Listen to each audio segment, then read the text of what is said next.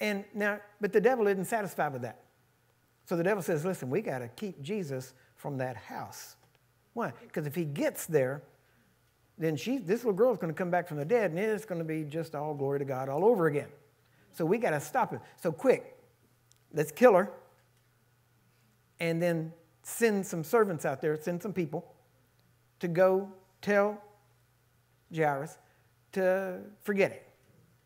But now notice, they didn't go to Jesus and say, uh, Jesus, don't, don't, don't do this. Uh, you know, Jairus, he's out of his mind right now because his daughter's dead. It's not good. So just, you don't need to come. They didn't go to Jesus. Why? Because they knew, the devil knew, you're wasting your time. So what did he do? He hit the weakest link. He hit the person involved. He hit the father, the father of the girl. He hit the father and said, Don't trouble him. Your daughter's dead. Why? Because that grief would hit. And now, but now notice, Jesus didn't say, Don't grieve. He said, Don't fear. What fear what? Because he had the, the fear aspect that is the basis of this. That he would fear that what he had asked wouldn't happen once he heard it was too late. See, too late for man is not too late for God. Amen? Amen? So you've got to stretch your too late to match God's, not yours.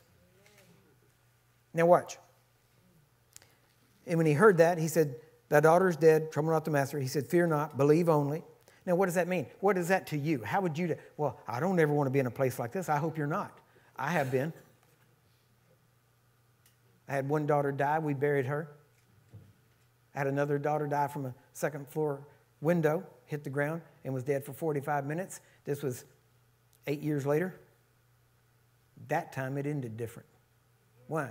Because after we buried the first one, we said, never again. And so for 45 minutes, I was commanding, you will live and not die.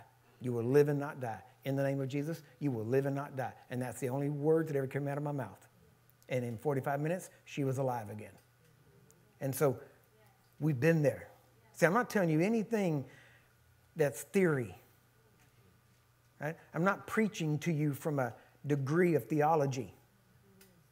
I'm telling you what we've experienced, what we've seen, what we know works, and I can't get it across strong enough. If I could, listen, I'm not a yelling person, but if it would get across to you better, I would do that. But I couldn't yell loud enough to emphasize it strong enough as it is written.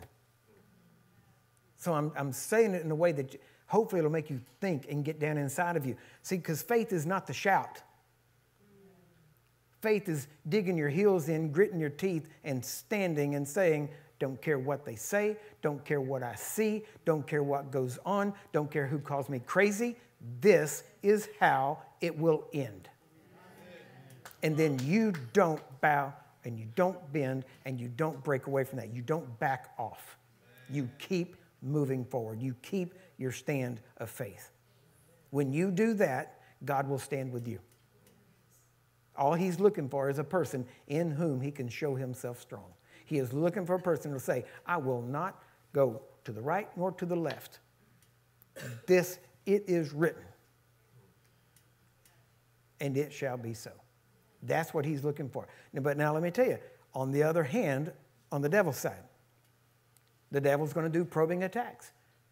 He's going to tell you everything he can. He's going to hit you every way he can. You're going to, and, and it could be in the area of sickness. And you can say, you know, I just don't feel right. So you go to the doctor and they run a test and they come back, oh, it's terrible. It's bad. And they're going to try to get you to believe how bad it is. Because the minute you agree with them, it just got worse. Why? Because you have laid down your defenses, you've laid down your will, and now you're agreeing with them. Why? Uh, because all they had to do was say, oh, well, see the test? And yet, do you know how many tests are wrong? How many tests they show you, which was actually the results of somebody else's test, and they made a mistake? 30% of what I deal with is what doctors messed up. That's a fact.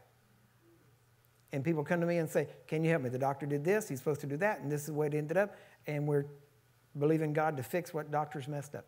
Nothing against doctors. Most of them, you know, try to do some good and that kind of stuff. But all I'm saying is that you have to decide who you're going to believe. And then maybe we pray and you think everything's going to be great. And it will at the end.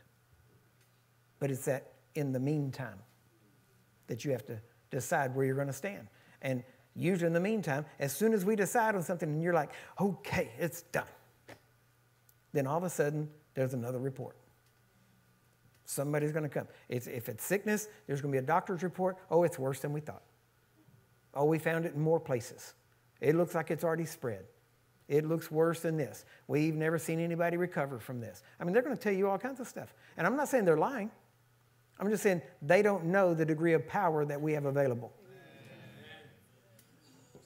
But you're going to have to decide where you're going to stand.